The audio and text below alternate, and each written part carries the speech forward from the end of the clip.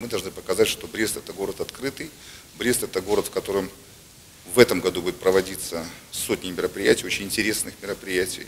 И Брест – это город, в котором мы всегда рады нашим гостям. Эти слова Александра Рогачука, наверное, одно из основных условий, соблюдения которого позволит дать новый импульс развитию не только безвизового перемещения иностранных граждан, но и в целом туризму и его важным составляющим. Гостиничные комплексы областного центра готовились к году тысячелетия серьезно и осознанно, понимая, насколько велик будет поток приезжающих и что иностранцы ценят в сервисе. Стоит отметить, что большинство мест в комплексах города на майские праздники, а также на ряд важных дат, годовщину начала войны, освобождения Беларуси, День города уже уже забронированы. Мы уже сейчас провели э, рабочие встречи со всеми представителями нашего гостиничного бизнеса, всех форм собственности.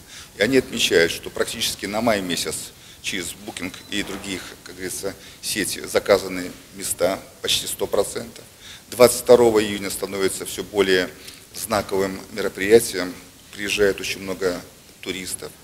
Естественно, День города, естественно, мероприятие по тысячелетию. Поэтому вот эти уже, как говорится, даты Э, практически вбиты в историю нашего города. И это опять же туризм, это опять же наши гости.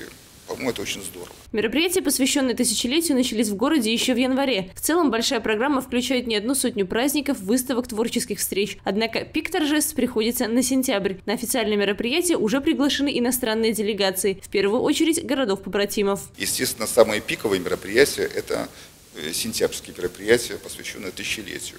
Мы планируем и прогнозируем большой наплыв туристов, и гостиницы будут заняты не только лишь в городе Бресте, но и вокруг все агроусадьбы, ну и, соответственно, и квартиры, которые люди сдают как форму своего бизнеса.